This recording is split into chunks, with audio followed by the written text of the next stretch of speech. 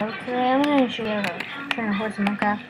My game as well, I'm continuing to play how to but kind of hurt, so I place my oh god, um, not this one.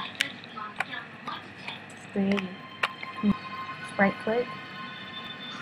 Know how I'm doing that. Oh god, I went down there. No. Come on, What just the using myself already. Okay. Um, so you're gonna get an empty hand, right click it. It's gonna throw you off. Try to keep your eye on the head, because my heart's up here. You press E and you put your armor and saddle on it. Armor is optional. It's like that. Press E. And you can equip it with um this. And pirate around. And it really doesn't take that long. Let's how much it's going to.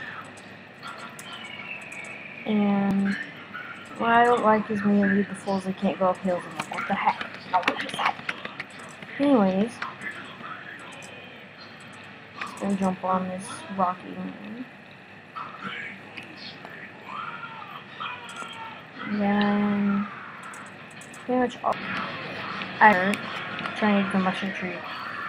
Let's get to the mushroom tree. Don't where is.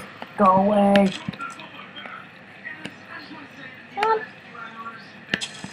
Oh. Take at least go away. My mushroom tree, mushroom tree, wanna see a mushroom tree, mushroom tree, mushroom tree, mushroom tree, mushroom tree, mushroom tree, mushroom, go away. Yes, I found it. Oh god. Mushroom tree! It's the almighty mushroom tree. And drop the horse against shift. And just right click it with its tack on to get back on. So it's easy. You can't hold a sword and hit things like that. yeah. Right. I used to be able to right click, but now. But that really helps.